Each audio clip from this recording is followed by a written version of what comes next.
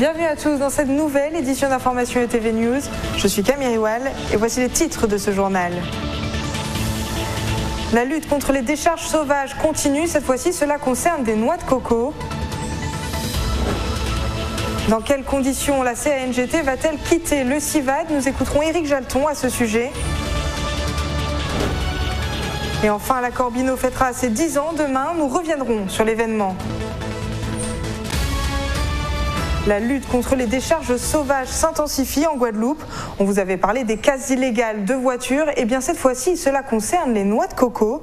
Un homme a été épinglé la semaine dernière pour incivilité, une contravention qu'il ne comprend pas. On voit tout ça avec Marius Mathieu. Des cabris livrés à un festin de chair de coco. Jusque-là, tout va bien. Sauf qu'ici, ce sont des centaines de kilos d'écorce de noix qui s'accumulent depuis quelque temps. Un terrain de jeu idéal pour les rats et les larves de moustiques. Voici le responsable de cette décharge végétale située à la Boucan, près de Sainte-Rose. À 35 ans, l'homme tente de s'en sortir en vendant de l'eau de coco. Aujourd'hui, il se dit dépassé par les événements. En réalité, je suis boulanger pâtisserie. Mais comme je travaillais pour des gens qui ne me payaient pas, alors j'ai dit, bon, euh, comme j'avais plein de coco, mais mes parents ont plein de coco, alors j'ai dit, bon, je vais faire ça, je me suis lancé là-dedans. Au départ, c'était, on voulait faire du compostage. Et puis, bon, euh, on n'a pas pu réunir tous les sous pour acheter le, le gilet boyeur. Et puis après ça, ça a accumulé sur nous et c'est comme ça ça s'est passé. La mairie a donné un ultimatum à Nicolas.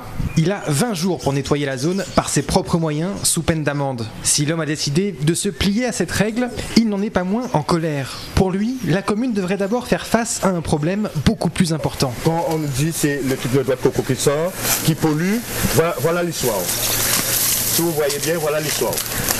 L'histoire, c'est ça qui pollue. Et c'est ça qu'il ne veut pas dire. Ici, quand c'est rempli, ça va, dans, ça, va, ça va dans la rivière avant de me chercher euh, la petite bête pour mes doigts de coco. C'est ça qui pollue la rivière. Un problème de canalisation bien connu en Guadeloupe qui n'enlève rien au phénomène des décharges sauvages.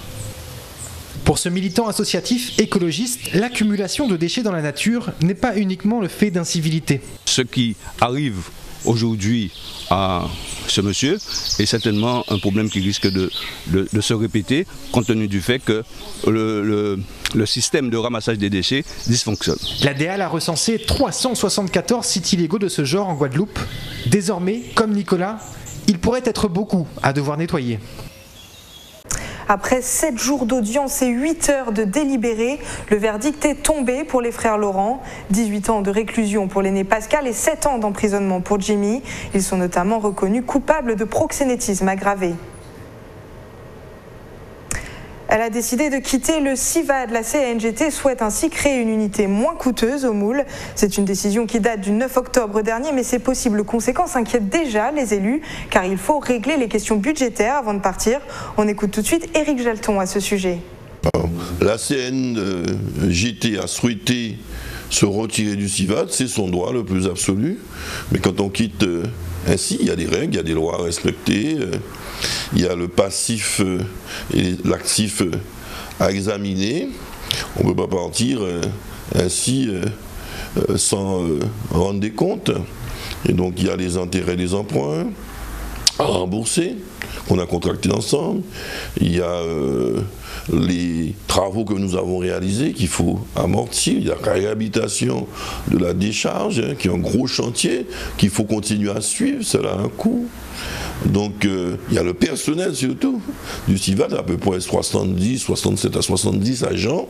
C'est comme un divorce. On veut divorcer, on a trouvé euh, une belle femme, hein. Euh, on veut faire sa vie avec et abandonner l'autre. hein. Eh ben, on a des enfants, eh ben, il faut s'occuper du sort des enfants, on ne laisse pas, n'abandonne pas pour le conjoint. Et on rappelle que le CIVAD regroupait 17 communes à sa création. Il n'en compte plus que 6 aujourd'hui. 3,8 millions de tonnes de marchandises traitées en un an. C'est un record pour le port autonome, une progression de 2% par rapport à l'année précédente. En cause, la hausse du trafic de conteneurs et de véhicules. Le trafic de passagers enregistre lui aussi une hausse de 10%, due notamment à la progression des croisières. L'accord Bino fêtera ses 10 ans demain 26 février, un accord qui avait alors engendré la fin de la grève de 2009, et ce en proclamant l'augmentation des salaires d'un montant de 200 euros pour une durée indéterminée. Il est donc encore valable aujourd'hui, mais le cheminement n'a pas été facile. On voit ça tout de suite. Revendications du LKP étaient claires. Tous les salaires devaient être renégociés et augmentés de 200 à 250 euros par mois en étant exonérés de charges sociales. C'est cette revendication qui a déclenché les discussions entre les syndicats. La première le 7 février 2009. J'ai qu'à recevoir nous à Bastet et les patrons pour nous commencer à discuter des négociations sur les salaires. Et à un moment là, ça, devant euh, tension là qui est là, j'ai qu'à faire une proposition, il a dit nous, bon, nous rentrer dans la salle, les syndicats ouvriers et les syndicats patronaux, nous rentrer dans la salle et nous allons fermer nous en salle là, et tant que nous pas un accord sur les salaires, nous ne pouvons pas sortir. Nous allons accepter. Nous allons accepter et donc, euh, euh, euh, journée, toute la nuit, nous avons négocié, nous avons fait des pauses. J'ai qu'à recevoir euh, délégation patronale, délégation ouvrière alternativement.